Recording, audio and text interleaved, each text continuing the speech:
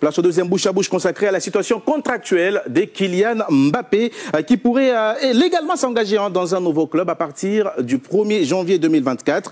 Et le journal madrilène AS euh, a donc fait une annonce cette semaine que le Real Madrid, qui ne souhaite plus s'engager dans un long feuilleton sur la situation de, de Kiki, aurait fixé à l'attaquant français la date du 15 janvier pour accepter son offre. Alors, messieurs, Kylian Mbappé doit-il trancher sur son avenir? Euh, Dès janvier, c'est oui pour Fousseni Diawara et non pour Samuel Lodé. Place tout d'abord à l'argumentaire de Fousseni. Vous avez 40 secondes pour convaincre. Bah, je pense que Kylian Mbappé il a une occasion euh, en or de soigner sa, sortie. Euh, ça fait sept saisons qu'il est au Paris Saint-Germain. Il a marqué plus de, 200 buts. Et le Real Madrid lui a mis un ultimatum au 15 janvier. Donc euh, c'est la raison pour laquelle il doit se décider. Et ça lui permettrait justement, pendant ces six mois, de se battre pour le Paris Saint-Germain comme il l'a il a toujours fait, euh, de rendre un petit peu aux supporters ce qu'ils lui ont euh, donné tout en laissant une bonne image et surtout pour se préparer dans les meilleures conditions pour, pour l'année prochaine et permettre au Paris Saint-Germain d'anticiper aussi et recruter un joueur qui pourra le remplacer. Place à la réponse maintenant de Samuel Aubé. Vous ne conseillez pas Mbappé de trancher en janvier. Pourquoi? Non, euh, j'attends que ça démarre. Hein. Il doit, il ah, il est fair play. Ouais, il doit, pour moi, il doit trancher comme il veut. Euh, je veux dire, laisser une bonne image. Bonne image quand il l'a envoyé dans l'offre au début de saison. Et quoi encore Il décide quand il veut, quand il en a envie, quand il sent que le projet du club dans lequel il va aller lui convient. Il n'est même pas obligé de communiquer dessus. C'est-à-dire, il se retrouve comme un joueur libre il fait comme il veut, il entame des discussions quand il le veut. Euh, le public l'applaudira parce qu'il a fait cinq saisons extraordinaires. Il n'y a pas de trahison là-dedans. Donc euh, je vois pas pourquoi. D'ailleurs, je trouve que c'est un peu mal joué de la part du Real de lui dire euh, ultimatum à un des meilleurs joueurs du monde, tu poses un ultimatum. Peut-être qu'il ira quand même au Real, mais bon, non. C'est quand il veut pour moi, Mbappé. Fin de ce deuxième bouche à bouche, on fait encore appel à nos arbitres. Cette fois, c'est Xavier Barré et José Pierre Fanfan. Xavier, pas facile. Ils ont été très bons tous les deux. Ah, merci David. Je, donnerais presque un demi-point à chacun. Ah, c'est pas permis. Ah, c'est contre les règles. Des, euh. là, je suis un peu Au départ, j'étais parti pour il fait ce qu'il veut. Euh, donc je, donnerais plutôt mon point à ça. Mais en fait, l'argumentaire de, de Fousseni était très intéressant, avec euh, le Real qui lui demande de se positionner tôt, parce que le Real a aussi besoin de, savoir, s'il vient ou s'il ne vient pas. Le Real qui l'attend depuis pour aller sur un autre lui qui rêve d'y aller. Et puis quelque part, au Paris Saint-Germain, les supporters, ils ont bien compris qu'il y a un moment ou un autre, il va partir. Donc à la limite, s'il l'annonce tôt, il est clair vis-à-vis du club, vis-à-vis des supporters. Il se donne à fond jusqu'à la fin de saison. Allez, je donne mon point à Fous. Ah, il a pris le temps. il a pris le temps pour se décider, mais il a fini par donner le point à Fousseni. Et voilà. Moi, je, suis plus, euh, serais plus Samuel, dans le sens où euh, euh, c'est un garçon qui fait partie de ces joueurs, quand je dis privilégiés, parce qu'il le mérite, parce que justement, c'est à part, mais qui peut se permettre de décider. Euh, lui, euh, entre guillemets, il a déjà montré, euh, ne serait-ce qu'en début de saison, que ce n'était pas la peine de lui mettre la pression. le club a voulu le mettre au placard. Trois, trois, jours après, il revient et, il est meilleur buteur de l'équipe et c'est lui qui a le brassard. Donc, entre guillemets, donc, le PSG était ridicule avec lui. Donc, et aujourd'hui. Mais sauf que là, c'est la Maison Blanche. C'est le Real Madrid, ah, José. C'est pas la même chose. José, c'est le Real. Sauf que là, c'est la Maison Blanche. mais malgré tout, je pense qu'il est la Maison Blanche. Ça fait un moment qu'ils l'attendent. Mm. Donc, euh, ils sont peu quelques, quelques semaines près. C'est-à-dire que le jour où il va l'annoncer, c'est qu'il aura tout mis lui, en tous les cas, tout négocié. Comme mm. Je pense que c'est un. En tout cas, il arrive à bien mettre les choses à plat. Cette pression-là, il la supporte bien. Il l'a déjà démontré depuis le début avec ses différentes prolongations. C'est un garçon qui est. En tout cas, il n'y avait pas de, de, de, de, corrélation entre baisse de régime, mauvaise performance et une situation contractuelle sur le terrain, on a, il, a, il a toujours été irréprochable, alors qu'il est en fin de contrat, alors qu'il a des ceci, des cela. Donc il fait comme il veut. Donc moi je pars du, principe qu'aujourd'hui, lui, il, c'est, l'un des, il fait partie de ces joueurs-là qui peuvent en tous les cas se permettre effectivement de, beaucoup. Son, ouais, le Real non, non, mais lui il peut. Pas de vainqueur sur ce deuxième bouche à bouche.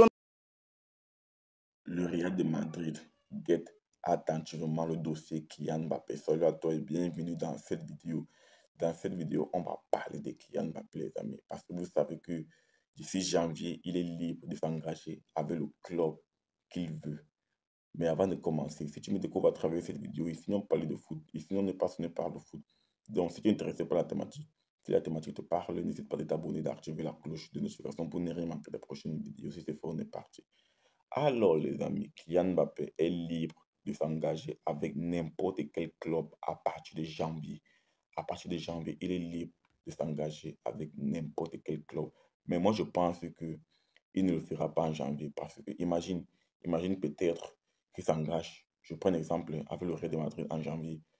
Imagine tous les six mois ou bien tous les quatre, cinq mois qu'il va vivre derrière. Tous les quatre, cinq mois qu'il va vivre derrière, ça sera de l'enfer.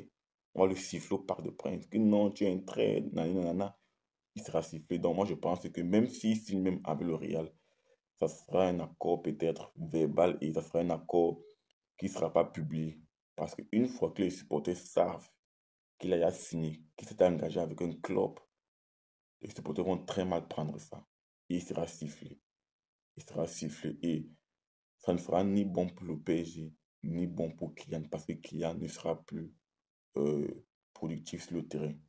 Donc moi, je pense même que même s'il s'engage avec un club dès janvier, ça ne sera pas vraiment public.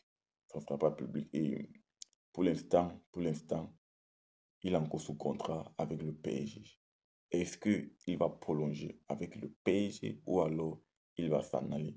Moi, je pense que moi, je pense que ça va dépendre. Ça va dépendre. S'il y a élimination contre Dortmund, ça va pousser Kylian à réfléchir sérieusement. Il va se dire, même avec Lucien Ricky, on n'arrive pas à franchir ce cap. Il va se dire, même avec Lucien Ricky, on n'arrive pas à franchir ce cap. Donc, il va se dire, peut-être le PSG, c'est un club, c'est un club qui n'est pas taillé pour remporter la LIC. Il va se poser les questions. Il va se poser les questions. En revanche, si le PSG arrive en huitième finale, quart de finale, demi-finale, il peut se dire, voilà, ça tient la route, euh, on peut faire quelque chose avec le PSG, le PSG peut remporter la LDC, etc. Là, il peut prolonger. Là, il peut prolonger. Mais actuellement, c'est encore, pour moi, c'est encore un peu trop tôt. Il n'a pas de visibilité sur le projet et tout. Lui, Enrique, on ne sait pas trop s'il va continuer. Parce que vous pensez que si le PSG sort au premier tour, Luis Enrique, pour moi, il va sauter. Hein. Connaissant les dirigeants, connaissant Nassé, Nassé qui n'aime pas la défaite là. Nassé qui ne supporte pas de perdre euh, en ultime finale. Combien de fois au premier tour? Ça sera très compliqué pour Luis Enrique de résister. Donc moi je pense que Kylian Mbappé, pour l'instant, lui-même, lui-même ne sait pas encore là où il va aller. Lui-même ne sait pas, je pense. Hein. parce que le Real de Madrid lui fait les yeux doux. Euh, Liverpool lui fait les yeux doux. Il est fan de la Premier League, il est fan du Real de Madrid. Bref, Kylian Mbappé est vraiment dans l'embarras. Il ne sait pas trop quel club choisir actuellement. Il ne sait pas quel club choisir. Moi, je pense que ça va dépendre ça va dépendre de la suite avec le PSG. S'il est heureux au PSG, s'il remporte des trophées, s'il est décisif peut-être en Ligue des Champions, le PSG arrive en demi-finale de LDC, je pense qu'il pourra prolonger parce qu'il va se dire c'est possible de remporter la LDC avec le PSG. Donc, euh, moi, je pense que tout va se jouer dans les prochains jours, dans les prochains mois. Moi, je pense que Kylian actuellement ne sait même pas encore là où il va jouer la saison prochaine. Lui ne sait même pas encore. Parce que Kylian veut remporter le ballon d'or. Kylian veut être le meilleur jeu du monde de manière officielle, pas de manière officieuse. Parce que certains sont en train de dire que c'est le meilleur jeu du monde, mais c'est de manière officieuse. On sait que le meilleur jeu actuel, c'est Messi, puisqu'il a remporté le ballon d'or.